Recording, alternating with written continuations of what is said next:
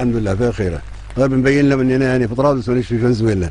ما تصدقوا الاذاعات ال- الكلاب هذه الضاله سلام عليكم.